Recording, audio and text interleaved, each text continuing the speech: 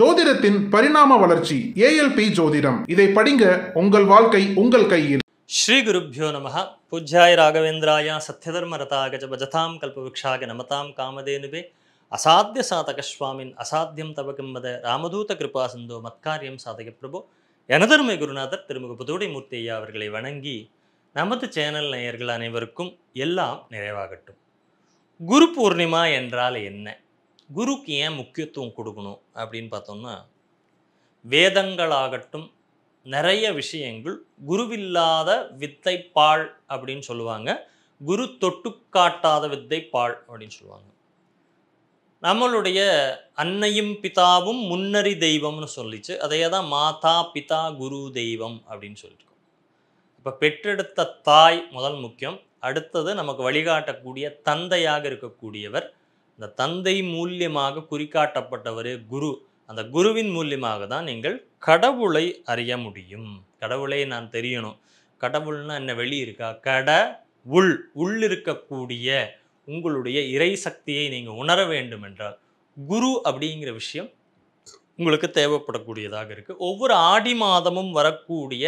இந்த பௌர்ணமினால் நம்ம வந்து குரு பூர்ணிமா அப்படின்னு கொண்டாடுறோம் ஆதி கடவுளான பகவான் விஷ்ணு இந்த விஷ்ணுவிடம் இருந்து தான் வேதங்கள் எல்லாம் தோன்றின அதற்கு புருஷ சூக்தம் போன்ற சூக்தங்கள் எல்லாம் சொல்கிறது அவனுடைய முகமலத்து முக கமலத்திலிருந்து வந்தது தான் வேதங்கள் அப்படின்னு அந்த வேதங்களே அவருடைய அம்சமான வியாசர் வியாசருங்கிறதே பகவானுடைய அவதாரம் தான் வியாச பகவான் அப்படிங்கிறது அவர் இந்த நான்கு வேதங்களை பிரித்து தொகுத்தளித்து பதினெட்டு புராணங்களை எல்லாம் உருவாக்கி கொடுத்தவர் அதுதான் இன்னைக்கு வரைக்கும் வழி வழியாக நம்ம ஒரு குருவிடமிருந்து கற்றுக்கொள்ளக்கூடிய விஷயமாக இருக்குது இப்படி வாய் மற்றும் காது வழியை நம்ம என்ன கேட்டு வந்திருக்கோமோ கடந்த காலங்களாக அந்த வேதங்கள் எல்லாம் வந்திருக்கு மகாவிஷ்ணுவே தான் ஹயக்ரீவராகும் அவதாரம் பண்ணி அவதரித்து குருவாக இருந்து எல்லாத்தையுமே உபதேசம் பண்ணுகிறார் அப்படின்னு சைவத்தில் பார்க்குறீங்க தட்சிணாமூர்த்தி சனகாதி முனிவர்களுக்கு குருமா மௌனமே குருவாக இருந்து எல்லா விஷயங்களையும் உபதேசித்தார் காலங்காலமாக அந்த பரம்பரை தான் இன்றைக்கும் குருநாதர்களாக மடாதிபதிகளாக பீடாதிபதிகளாக வந்துட்டுருக்காங்க முருகப்பெருமானும் கூட குருவாய் வருவாய் அருள்வாய் குகனேன முருகப்பெருமானையும் கூட குருவாக வணங்கக்கூடியது அப்படிங்கிறது இருக்குது மாதா பிதா குரு தெய்வம் என்பார்கள் அப்போ பிறப்பை கொடுத்த தாய் வளர்த்தெடுத்து அறிவை காரணமாக இருக்கக்கூடியது அந்த ரெண்டு பேரும் ரொம்ப முக்கியம் நம்ம இந்த இடத்துல நிறைய பேர் அம்மா அப்பா என்ன பண்ணாங்க எனக்கு என்ன பண்ணினி அப்படின்னு கேள்வி கேட்போம் அம்மா எத்தனை கஷ்டப்பட்டிருக்காங்கிறத நம்ம உண்மையாகவே தெரிஞ்சுக்கணும் அது முக்கியமாக நம்ம ஏஎல்பி வகுப்பில் கர்மா வகுப்புக்கு வந்தீங்கன்னா ஏஎல்பி படித்தீங்கன்னா உங்களை நீங்கள் உணர முடியுங்கிறத நான் சொல்கிறேன் அம்மான்னா என்னங்கிறது உணரலாம் அப்பான்னா என்னங்கிறது உணரணும் குரு தத்துவங்கிறது என்ன அப்படிங்கிறது ஒரு ஒன்று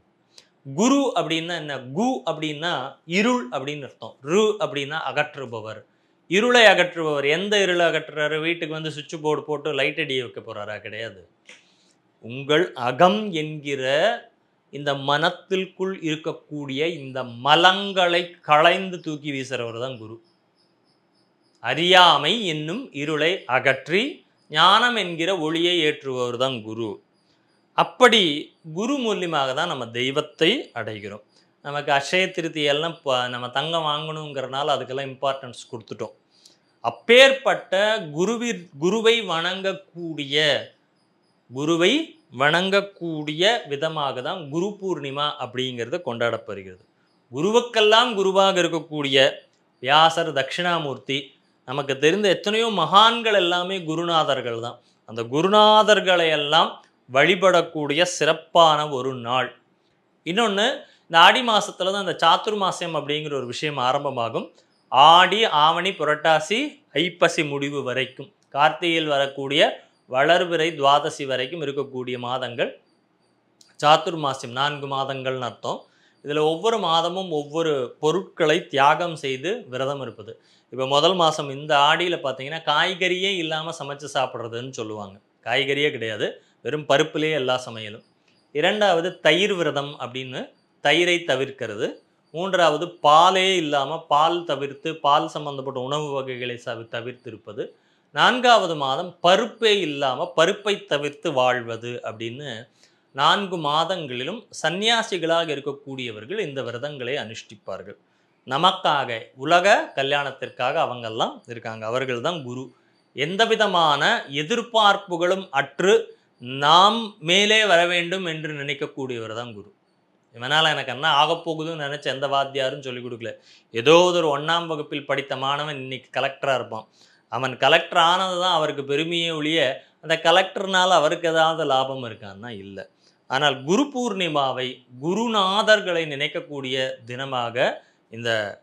குரு பூர்ணிமா இருக்குது ஏன்னா இதில் தங்கம் வாங்க வேணும் அப்படின்னு சொல்லலை அதனால் நம்ம கண்டுக்காமல் விட்டுட்டோம் அச்சய திருத்தியை எல்லாம் கொடுக்கக்கூடிய அந்த ஒரு முக்கியத்துவத்தை இது போன்ற ரொம்ப முக்கியமாக நம்ம குரு அப்படிங்கிறவர் நம்ம இருளை அகற்றிவர் நீங்கள் ஒன்றாம் கிளாஸ் படித்து ஸ்கூல் உங்கள் பள்ளிக்கூடத்தில் இருந்த ஆசிரியராக இருக்கலாம் எங்கள் வேதம் கற்றுக்கொண்ட ஆசிரியராக இருக்கலாம் எங்கள் ஜோதிடம் படித்த ஆசிரியராக இருக்கலாம்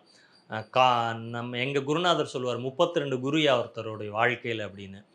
அதே மாதிரி நம்ம மகான்கள் நமக்கு வழிகாட்டியாக இருந்த எத்தனையோ மகான்கள் எத்தனையோ உபதேசம் செய்தவர்கள் எல்லாம் இருக்காங்க அப்போ அந்த வழி வந்து வந்து வந்து தான் நம்ம வாழ்க்கையே ஒரு நெறிமுறையில் இருக்குது இல்லையா எல்லாருக்கும் ஒரு முறை அப்படிங்கிறது இருக்குது அந்த வாழ்வியல் அப்படிங்கிறது இந்த வாழ்வியலை நமக்கு கற்றுக் கொடுத்தவர் தான் குருநாதர் நீ இப்படி இருக்கணும் உன் அறிவை இப்படி வளர்த்துக்கொள்ள வேண்டும் இதையெல்லாம் நீ கற்றுக்கொண்டால் உன் வாழ்க்கையில் நீ மேலே வரப்போகிற இப்போ காலேஜில் போய் நாளைக்கு நான் வேலைக்கு போகணுன்னு படிக்கிறேன் நிறைய விஷயங்களை படிக்கிறேன் பிகாம் படிக்கலாம் பிஎஸ்சி படிக்கலாம் இன்ஃபர்மேஷன் டெக்னாலஜி படிக்கலாம் டாக்டராக கூட நான் மாறலாம் நான் பிரதம மந்திரியாகவும் இருக்கலாம் நாட்டினுடைய ஜனாதிபதியாக மிகப்பெரிய ராஜாவாக இருந்தாலும் கூட அந்த ராஜ்யத்தை நிர்வகிக்கக்கூடிய அந்த அறிவு நுணுக்கத்தை உங்களுக்கு கொடுத்தவர் யார் குரு நீங்கள் பிறந்தவொடனே அறிவாளியாக பிறக்கலை அம்மா அப்பா அம்மா அப்பா காமிச்சு கொடுத்தது யாரை குருவை அவர் தான் உனக்கு வாழ்க்கை வழிகாட்டின்னு சொல்லி காமிச்சு கொடுக்குறாங்க அந்த குருவின் மூலியமாக தான் நீங்கள் அறிவு அப்படிங்கிறத பிறரனால பெற்றதுனால அந்த குருவிற்கு நம்ம எவ்வளவு இம்பார்ட்டன்ஸ் கொடுக்கணுங்கிறத யோசிச்சு பாருங்களேன் எவ்வளவு இம்பார்ட்டன்ஸ் கொடுக்கணும் அவர்கள் அந்த வழிகாட்டுதல் இல்லாமல் இருந்தால்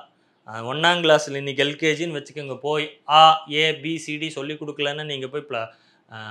பன்னிரெண்டாம் வகுப்பு முடித்து பெரிய இன்ஜினியரிங் படிக்கிறீங்கன்னா அதுக்கு முதல் அடிப்படையாக இருந்தது என்ன அந்த ஒன்றாம் வகுப்பில் உங்களுக்கு இருந்த ஆசிரியர் தான் அதுக்கப்புறம் ஆசிரியர்களை கடந்து கடந்து வந்திருப்பீங்க அதுக்கப்புறம் ப்ரொஃபஸர்ஸ் காலேஜில் இவர்கள் எல்லாம் உங்கள் வாழ்க்கையினுடைய வழிகாட்டிகள் அவர்களை கேவலப்படுத்துவதோ கிண்டல் அடிப்பதனாலே உங்களுக்கு எதுவும் கிடைக்க போகிறதில்ல பாவம் தான் வந்து சேரும் அப்பேற்பட்ட நம்ம வாழ்க்கைக்கு வழிகாட்டியாக நம்ம வாழ்வில் ஏற்பட்ட இருள்களை எல்லாம் அகற்றிய குருநாதர்களாக விழுங்கக்கூடிய ஆசிரியர்களும் குருமார்களையும் அவர்களுக்கு நன்றி செலுத்தும் விதமாக இருக்கக்கூடிய நாள் தான் எப்படி ஆசிரியர் தினம் டீச்சர்ஸ் டே கொண்டாடுறீங்க அது அதுதான் இந்த குரு பூர்ணிமாங்கிறது டீச்சர்ஸ் டே அப்படிங்கிறது அவர்களை இந்த குரு பூர்ணிமா நாளில் அவர்களை சென்று அவர்களுக்கு ஏன்னா சிலர் நேரில் பார்க்குறப்ப வெறும் கையில் பார்க்கக்கூடாதுன்னு சொல்லுவாங்க அதில் முதல் குரு குழந்தைகள் தெய்வம் இந்த மூணு பேரையும் பார்க்குறப்ப வெறுங்கையில் நோயாளிகள் இவங்களெல்லாம் வெறுங்கையில் போய் பார்க்கக்கூடாது குருநாதர்களை எப்பொழுது பார்த்தாலும் ஏதாவது ஒன்று அவர்களுக்கு கொடுத்து அவர்களுடைய ஆசீர்வாதம் அவர் உங்ககிட்ட நீங்கள் கொடுத்து தான் அவருக்கு ஆகணுங்கிறது இல்லை நம்ம மரியாதையை சரியாக செய்ய வேண்டும் அப்படி இந்த குரு பூர்ணிமா நன்னாளில் நமக்கு எழுத்தறிவித்தவன் இறைவனாகும் அப்படின்னு சொன்னோம் இல்லையா அப்படி எழுத்தறிவித்த இறைவனாக இருக்கக்கூடிய ஆ அப்படிங்கிற அந்த ஒரு அக்ஷரத்தை நமக்கு மெய்யெழுத்துகளையும் உயிர்மெய் எழுத்துகளையும் இன்றைக்கி நான் படித்து கொண்டிருக்கிற என்னுடைய அறிவிற்கு காரணமாக எழுத்தறிவித்த இறைவனாக இருக்கக்கூடிய அனைத்து குருமார்களையுமே நம்ம ஒவ்வொருத்தரும் கூட வணங்கி அவர்களுடைய ஆசிகளை பெறக்கூடிய நாள் தான் இந்த குரு பூர்ணிமா நாள் அப்போ இந்த குரு தத்துவம் அப்படிங்கிறது தான் வாழ்க்கையில் ரொம்ப முக்கியங்க அம்மா அப்பாவுக்கு அடுத்து நம்ம நம்பி இருந்த இடம்ங்கிறது குருநாதர்கிட்ட ஆசிரியர்கிட்ட தான் அப்படி நமக்கு வழிகாட்டியாக நம்மளுடைய கண்டிப்புடனும் தந்தைக்கு அடுத்து கண்டிப்புடன் இருந்தது ஆசிரியர்கள் தான் அப்படி தந்தை ஸ்தானத்துக்கு நிகராக இருக்க அப்பாக்கு நிகர் குருநாதர்கள் அப்படி அப்பாக்கு நிகராக இருக்கக்கூடிய குருநாதர்களையும் ஆசிரிய பெருமக்களையும் வணங்கக்கூடிய நாள் அவர்கள் நமக்கு அளித்த அந்த ஞானத்தை போற்றக்கூடிய நாளாக இந்த குரு பூர்ணிமா பூர்ணிமான நிறைந்த நாளாக இந்த நாள் இருக்குது இந்த குரு பூர்ணிமா நாளில் உங்கள் ஒவ்வொருத்தருக்கும் உங்களுடைய ஆசிரியர்களுக்கு நேரில் பார்க்க முடியலன்னா மானசீகமாக அவர்களுக்கு நன்றி தெரிவித்து இந்த குரு பூர்ணிமா நாளில் உங்களுக்கு எந்த மகான்களை பிடிக்குமோ அவர்களுடைய அந்த சன்னிதானத்திற்கு சென்று அவர்களை வணங்கி அவர்களுடைய பரிபூர்ண ஆசியை பெறுவது தான் குருணு பூர்ணிமா நாளினுடைய ரொம்ப ரொம்ப ரொம்ப ரொம்ப முக்கியமான ஒரு விஷயம் குரு பூர்ணிமாவில் நீங்கள் செய்ய வேண்டிய முக்கியமான விஷயம் அப்படின்னா ஆசிரியர்களையும் குருமார்களையும் வணங்குவது இதுதான் குரு பூர்ணிமாவினுடைய சிறப்பு எழுத்தறிவித்த இறைவனாக இருக்கக்கூடிய நம் ஆசிரியர்களை தொழுவோம் வாழ்வில் மென்மேலும் வளம் பெறுவோம் நன்றி